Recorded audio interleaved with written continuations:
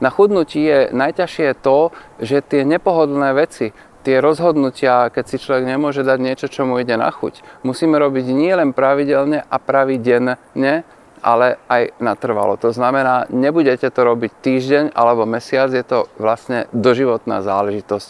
A ten boj, ten tlak proti tej túžbe dať si krkovičku, dať si tortu, dať si koláčik alebo slané tyčinky, alebo slaninku na, do a potom si ísť trošku odpočinúť na, namiesto nejakého športu.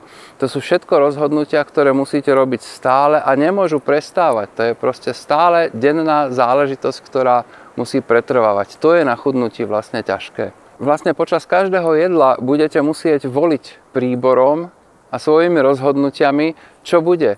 Vy musíte rozhodovať o tom, v akom stave bude vaša pleť, v akom stave bude vaša astma, v akom stave bude váš krvný tlak. To sú všetko veci, ktoré sa dajú ovplyvniť stravou alebo pohybovou aktivitou podobne bolesť klbov a mnoho, mnoho civilizačných ochorení, ktoré nás alebo vás trápia, sa dajú ovplyvniť práve tým, čo pravidelne jedávate a čo pravidelne zo stravy vynechávate.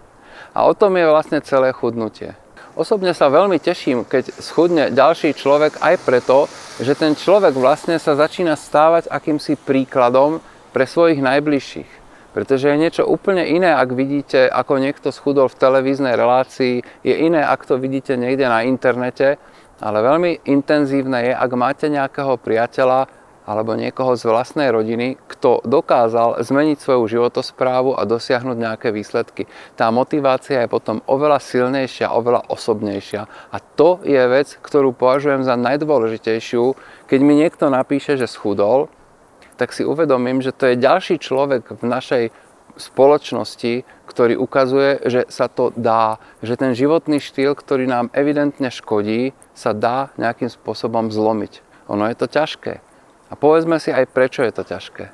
Obezita sa totiž dnes definuje pomerne presne ako chybné alebo zlé prispôsobenie sa na prostredie s vytvoreným dostatkom. Predstavte si, ako žijeme. Napríklad ja počas väčšej časti dňa stojím alebo sedím pri počítači a strihám videá pre svojich klientov, alebo vyrábam nejakú web stránku, alebo píšem článok, ale to je v podstate takmer nulový energetický výdaj. Možno trošku nejaké rozmýšľanie, hýbanie prstami, ale to je všetko. Žiadny výraznejší pohyb, ktorý by vlastne to zdravie vyžadovalo.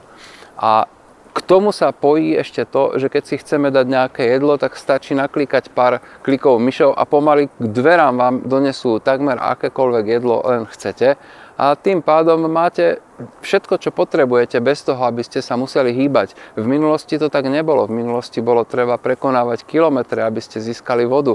Bolo potrebné niekde, niekoho naháňať alebo niekde utekať, aby ste získali potravu alebo kosiť, opatrovať zvieratá a furt sa hýbať. A toto sa zmenilo.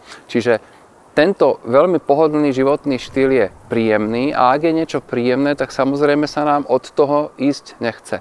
A na nič je to, že ten príjemný životný štýl má veľmi nepríjemné následky v podobe rôznych ochorení, v podobe zlej kondície.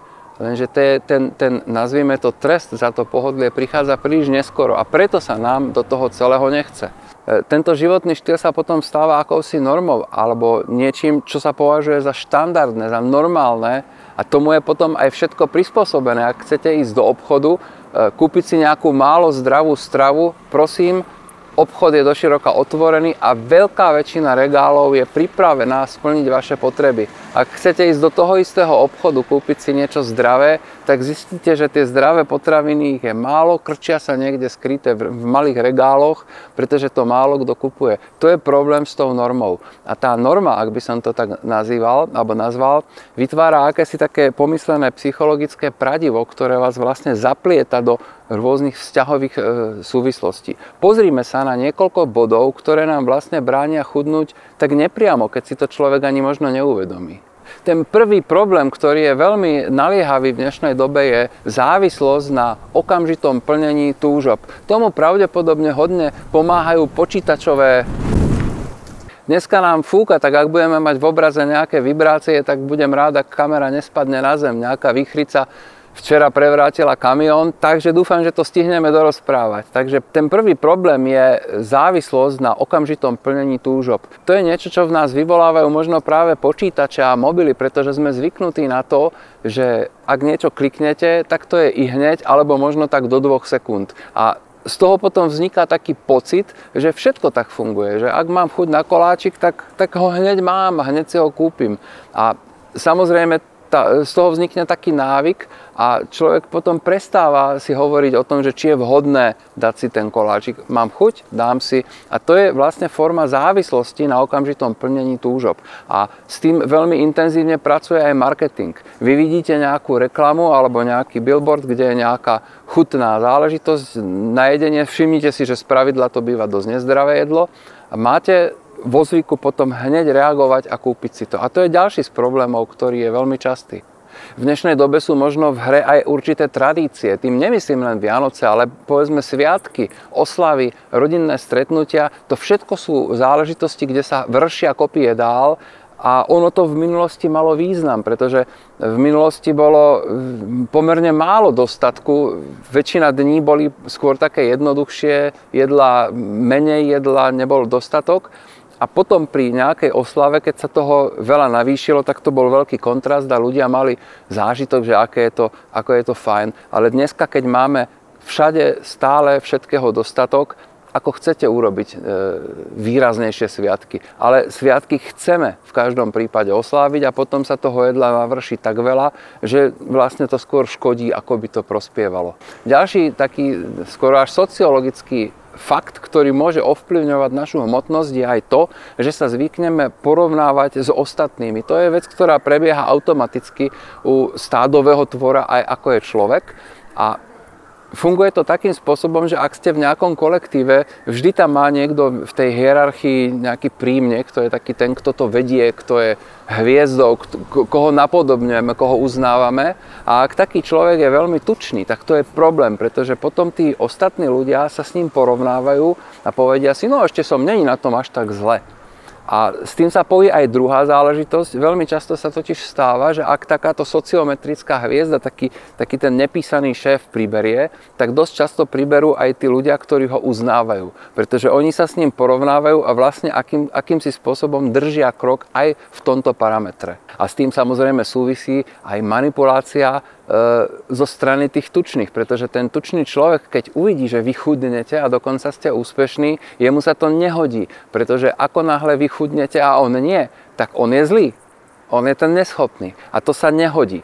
Takže ľudia, ktorí sú tuční a zistia, že vy ste prešli na zdravšiu stravu a dokonca, že máte výsledky, vám začnú v týchto výsledkoch brániť. Budú vám e, klásť rôzne prekážky. Oni vám samozrejme nemôžu povedať, že prestaň chudnúť, aj keď aj to sa občas dá počuť, ale často to robia tým spôsobom, že vás manipulatívne budú rôzne ovplyvňovať. Napríklad vás budú, sa vám budú posmievať, budú vás znevažovať alebo, alebo znehodnocovať že čo ste, aké ste si dali nejaké rozhodnutie alebo nejaký zámer. Tu je situácia veľmi podobná, ako keď sa pozriete do prostredia, kde sa pácha zločin. E, iste viete, že zločinci konajú zlé veci a na tom sa asi vieme zhodnúť a nemajú radi, ak ich niekto zažaluje, ak ich niekto nabonzuje. Na to je aj také slovo, že bonzák. A ten bonzák je vždycky vnímaný ako ten zlý.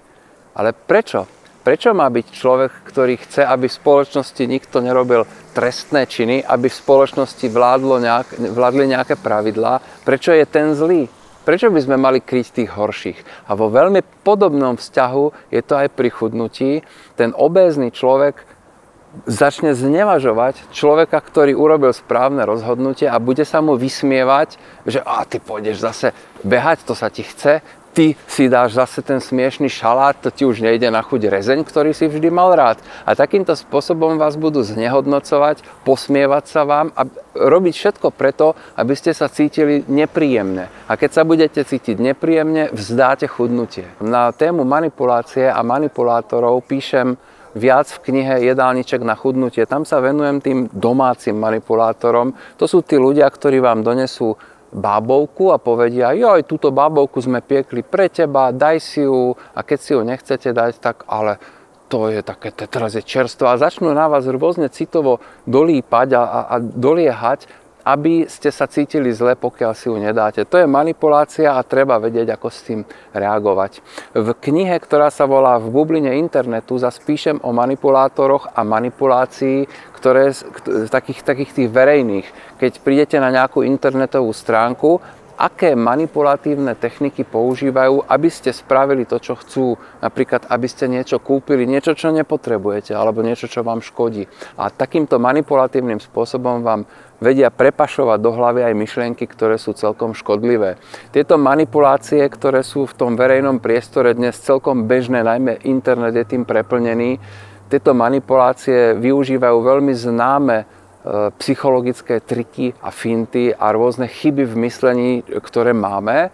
A pokiaľ tie manipulatívne techniky poznáte, tak sa viete lepšie brániť. E, to všetko, čo prežívame takto v spoločnosti, vytvára určité pradivo, ktoré nás zasadí do určitých vzťahov a v tých vzťahoch potom ako, ako si existujeme, alebo trváme, alebo sme. A keď sa rozhodneme chudnúť, tak vlastne musíme pretrhnúť niektoré z tých vzťahov, musíme sa aktívne dostávať von alebo preč z tej nejakej siete, v ktorej sme boli zasadení a to je veľmi nepohodlné. Preto je vlastne to chudnutie tak náročný proces. To pradivo vzťahov, ktoré nás vlastne tak drží v tej, v tej konštelácii, ktorá možno pre nás zdravotne nie je výhodná, ale je možno pohodlná, nás vlastne veľmi pevne drží. A to pradivo vzniká zo vzťahov v spoločnosti, kde možno obezita už dnes začína byť vnímaná skoro až ako normálna vec. Ja si pamätám, že keď som chodil do školy, čo je tak mínus 40 rokov, tak ak bol niekto v škole tučný, tak to bolo skôr na výsmech. A dnes je to už pravdepodobne skoro až normálna záležitosť a to nie je v poriadku. Preto som rád, ak ľudia, ktorí dokážu schudnúť, idú vlastne príkladom, pretože rozrušujú to, to pletivo to nastavenie spoločnosti, aby sme boli čo najtučnejší. Takže to je téma, ktorú som chcel dneska povedať a na budúce skúsim vymyslieť zase niečo iné. Ahoj!